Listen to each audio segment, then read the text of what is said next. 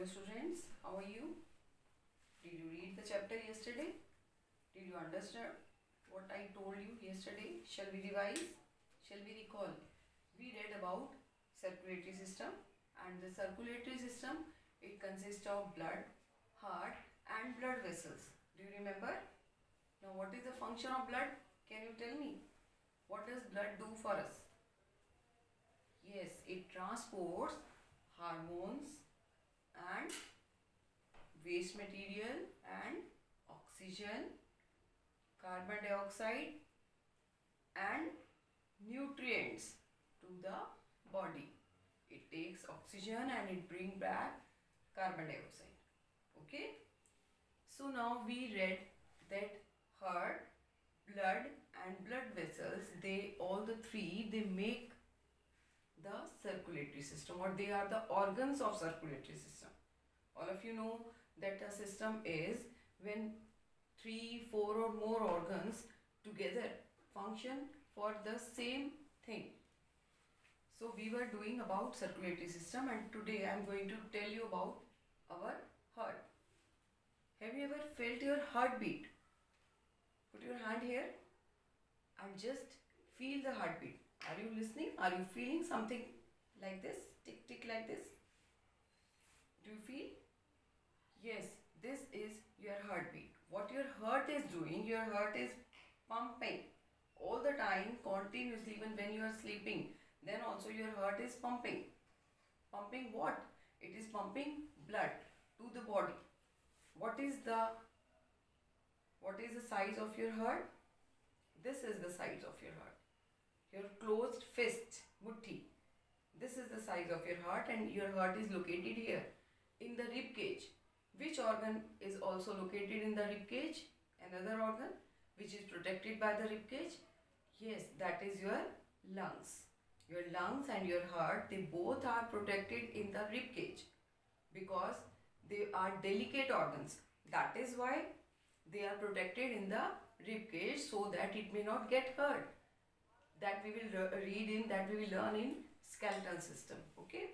So now we are i'm going to tell you about the structure of heart. This is the structure of heart. If you make a card for your mother what you do? You make the heart like this. It is not the proper structure. This is what we draw for our convenience. But the heart is of this shape. It is broader at the upper end and it becomes narrow at the lower end and this is called apex. Here towards the apex it is narrow and on the upper side it is broader. Now all of you know that our heart is four chambered. Our heart is, human heart is four chambered means there are four chambers in the heart.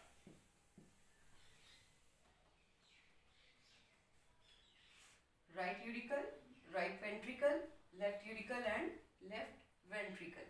So all the human beings they have the heart which is four chambered. Now how does the blood comes into the heart and how does the purified blood goes out from the heart? First of all what happens? All the blood from the body is collected and given to the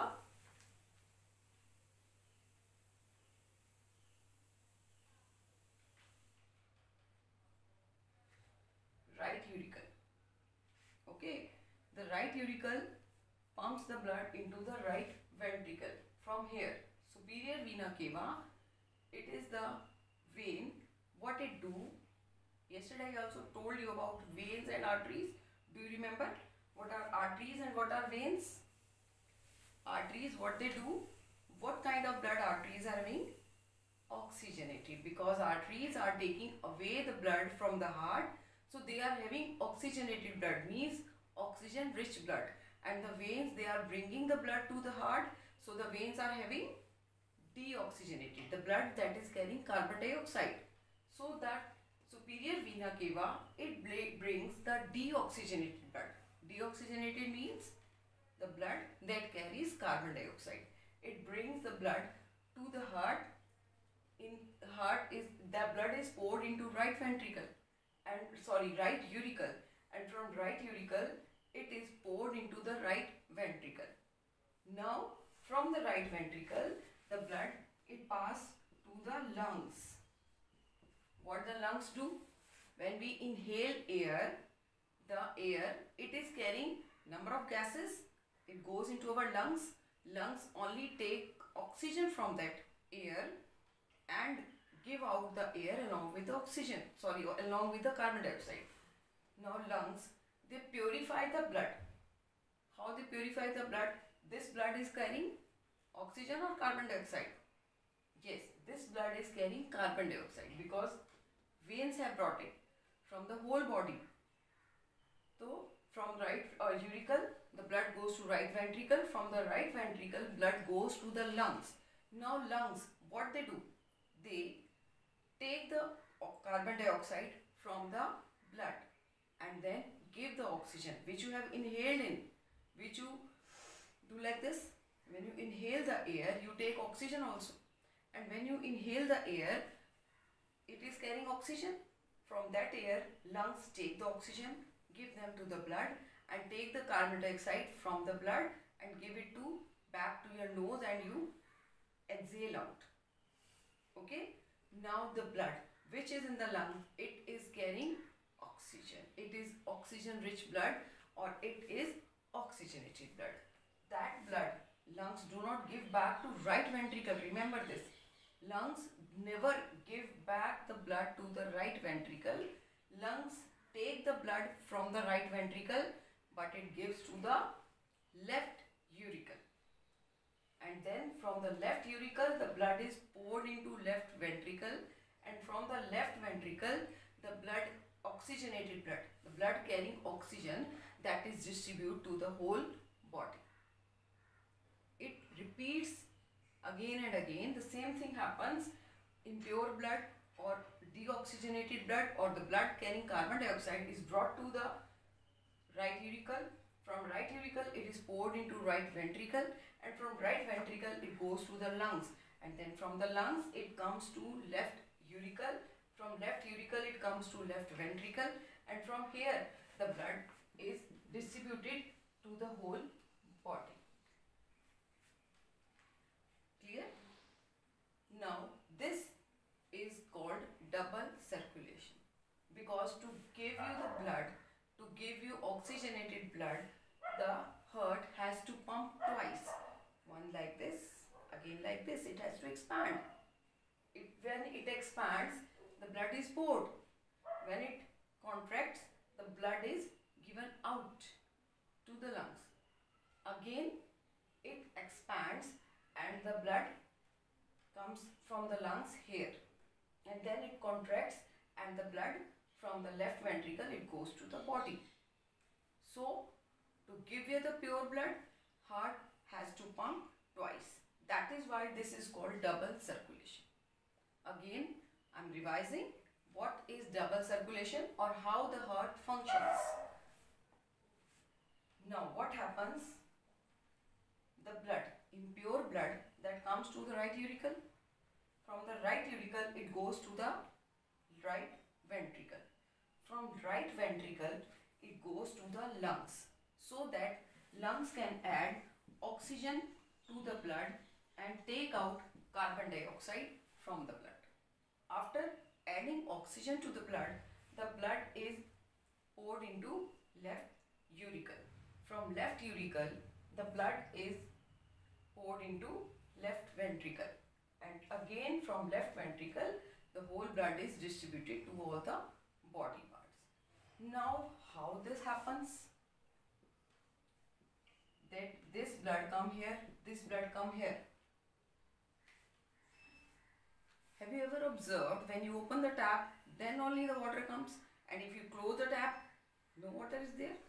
Same happens here. There are some valves.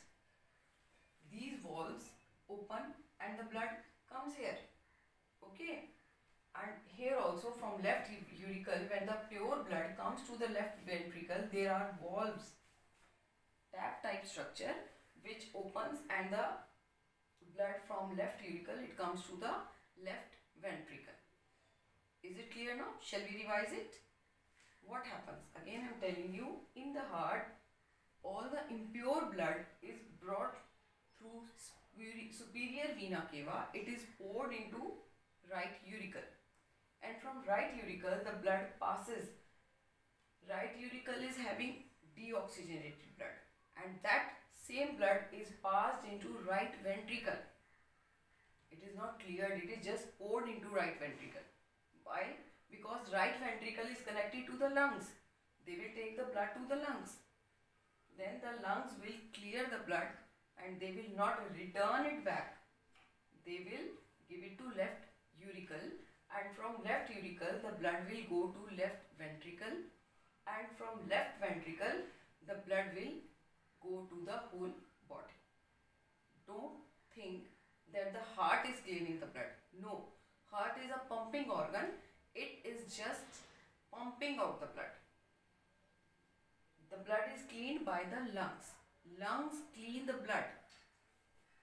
Who cleans the blood? Lungs. They clean the blood.